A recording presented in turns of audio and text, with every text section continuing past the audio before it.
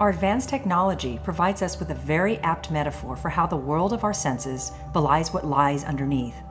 Take a current smartphone, such as an iPhone, and almost all of us simply stay at the level of the user interface.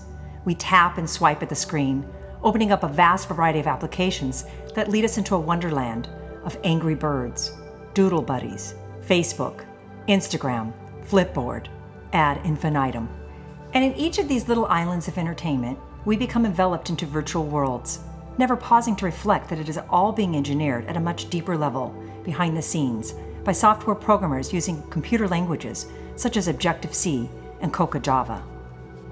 The user interface is, to invoke Plato's allegory, our cave, and we don't even know we are prisoners to the operating systems which unwittingly constrain our movements in a pre designed template. Aldous Huxley prophesied in the 1930s in Brave New World how we would be enslaved by a variety of amusements. Similarly, the app entraps us by giving us an illusory sense of latitude.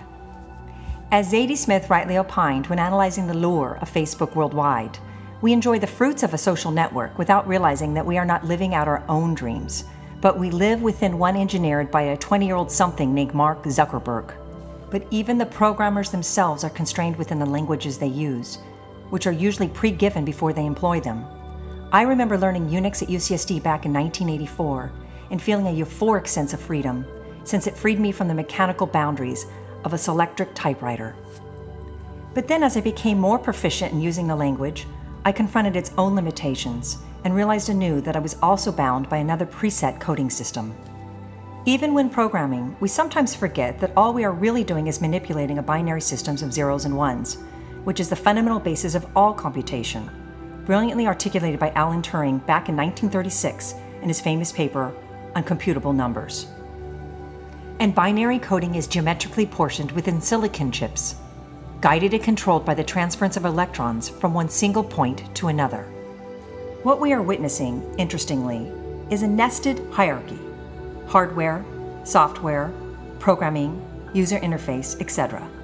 But for most of us, we know little, if nothing, besides the smartphone's display screen it is true whether we're using Amazon's Kindle Fire, Microsoft's Surface, Google's Chromebooks, or Apple's latest iteration of the iPad. We are surface surfers in the techno world, and we remain dutifully oblivious to all the subterranean caverns that lurk within.